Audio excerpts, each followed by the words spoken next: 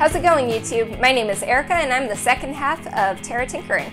Today you'll get a look at the improvements we made to Charlie's Ecosphere as we prepare it to be sealed as well as what we did to address the cloudy water and the high ammonia levels that we were seeing. We're going to completely empty out this container, replace the substrate, and anchor several more aquatic plants to provide cleaner water, more food, and a better oxygen supply for our little aquatic companions. One of the first things we wound up doing was pulling the larger plants as well as anything that was really big out of the container. That way it made it easier for us to pour it out.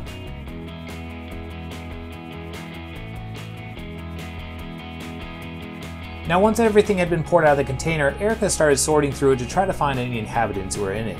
And I went over and started rinsing the container out.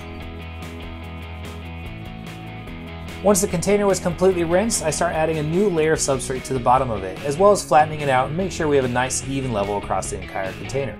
After that, I start helping Erika look for the different inhabitants. I pull up a jar, look inside of it, and then pass it to her and she double checks it as well.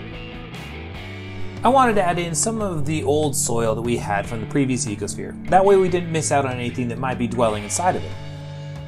We wound up going through the contents of the old ecosphere a second time, that way we could be extra sure that we didn't accidentally leave behind any of the critters that we wanted to keep.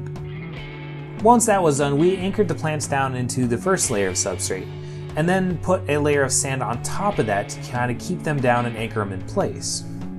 This time, instead of using a ladle when I added the water, I had a small deli cup that had holes punched in the side of it, as well as some rocks in the bottom. That way when I poured water into the deli cup, they'd slowly trickle out of the holes on the side and not really disturb anything that we had put underneath it. Erika starts putting the finishing touches on the container by placing some more rocks to kind of break up the way the sand looks on the bottom of the tank. Then Erika uses a spoon in order to skim off any of the particles from the substrate that may have floated to the top and stuck there.